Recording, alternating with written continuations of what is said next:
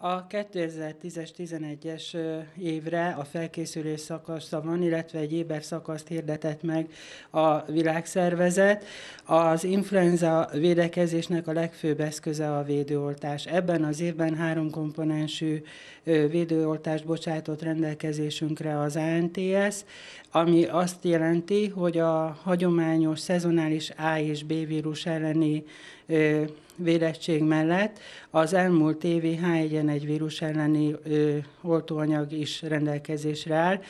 Az előző évben két oltást kellett ehhez a védettséghez mindenkinek igénybe venni. Ebben az influenza szezonban ezt egy oltással meg lehet tenni. A az influenza járvány ö, csúcsosodásáról még nem ö, esett szó ilyen szinten. Olyan méretű járványra nem számított a a WHO szerint, mint az elmúlt évben, hiszen az elmúlt évben már nagyon sokan találkoztak. A H1N1 vírus okozta influenzával, ők átestek, és nyilván az ő szervezetük már nem úgy fog erre reagálni. A házi orvosok kaptak oltóanyagot az ANTS-től, ők meg vannak határozva azok a korcsoportok és azok a betegségcsoport szerinti besorolásban, akik ingyenesen, térítésmentesen kapják az oltást, illetve az intézményben, a fekvőbetegellátó szociális intézményekben van térítésmentes oltása lehetőség, és a dolgozókat is beleértve. A lakosság részére az ANTS honlapján megtalálható az a korcsoport és betegség csoportonkénti beosztás, akik térítésmentes oltásra jogosultak. Súlyos lefolyású influenzára, illetve annak szövődményeire fokozottan veszélyeztetett csoportokra vannak bontva. Három évesnél idősebb, súlyos betegségi kockázatnak kitett krónikus légzőszervi betegségben szenvedők, aszmás betegek, szív-érrendszeri betegségben szenvedők, kivéve a kezelt magas vérnyomás betegséget, vele született vagy betegségkezelés révén szerzett immunhiányos állapotban szenvedő betegek, daganatos betegségben szenvedők, krónikus máj és vesebetegek, anyagcserebetegségben szenvedők, cukorbetegek, és neuromuszkuláris betegség miatt korlátozott légzés funkciójú betegek. Várandós nők részére, illetve azoknak a hölgyeknek a számára, akik az influenza szerv, ö, szezonban tervezik a gyermekvállalást, ápolás, gondozást nyújtó rehabilitációs, ö, illetve átmeneti elhelyezést biztosító intézményekben, lakóotthonokban, huzamosabb ideig ápolt betegek részére, tartós szalicilátkezelésben részesülő gyermekek és szülők részére, illetve a 65 éven felüliek részére mindenképpen ajánlott állapotuktól függetlenül, és az egészségügyi és szociális intézményi dolgozók részére házi orvosnál kell mindenképpen jelentkezni, és a házi orvos a rendelkezésükre bocsátja a védőoltást.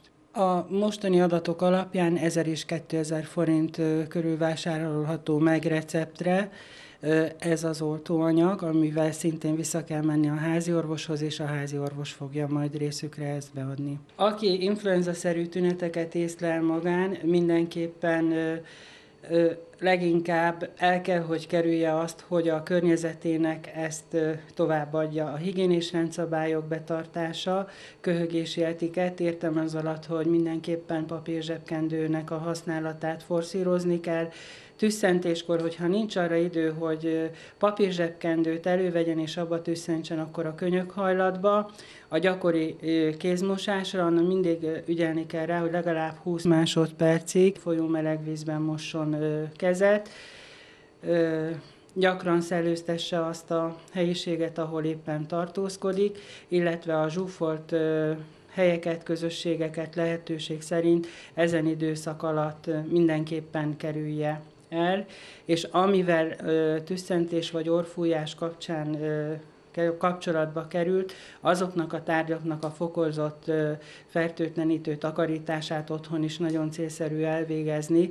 Pontosan azért egyrészt, mert ha kikerül a vírus a környezetbe, élettelen környezetbe is a virulenciája megmarad és vissza tud fertőzni. Másrészt pedig, hogy a vele egy háztartásban élőknek ezt ne adja mindenképpen javaslom. Lehet gyógyszertárban alkoholos fertőtlenítőszert kapni, ennek a használata is célszerű, a, általában erre a 60%-os alkoholtartalmú fertőtlenítőszerek, oly módon, hogy a kézmosás befejeztével az alkoholos kézbe dörzsölést száraz bőrfelületre fölviszük, és hagyjuk rászáradni, hogy ki tudja fejteni a hatását. De az influenza ugye hirtelen kezdődik, fejfájás, láz, rossz közérzet, mindenképpen arra ügyelni kell, hogy sok folyadékot fogyasszon, és lehetőleg vitaminban gazdag kiegészítéssel legyen a táplálék felvétel. Az influenza, mint járványos megbetegedés mindenkit fenyeget, de különösen fenyegetettek azok az emberek, akik idősek, akik betegek, akik idült vagy akár heveny betegségben szenvednek. Ezért különösen fontos az, hogy őket védje valami. A lehetséges lehetőségek közül erre legalkalmasabb az influenza védőoltás, ami a statisztikai adatok szerint 80-85%-ban megvédi a betegeket az influenza fertőzésétől. Aki kérte, annak volt lehetőségünk adni. Sokan kérik és igénylik, és ennek az is különös jelentőséget ad, hogy itt térítésmentesen kaphatja meg az arra igénytartó vagy arra szoruló beteg. Az osztályunkon 90%-os az átoltottság jelenleg. Tehát a 42 ágyas osztályon 35-38 beteg kapta meg a védőoltást, és mi ennek örülünk. Nem voltunk soha akkor betegek, és akkor még szokunk. Csak mindig ott. Idáig még nem volt. Pedig hasznos lenne, de ezt elmondtuk.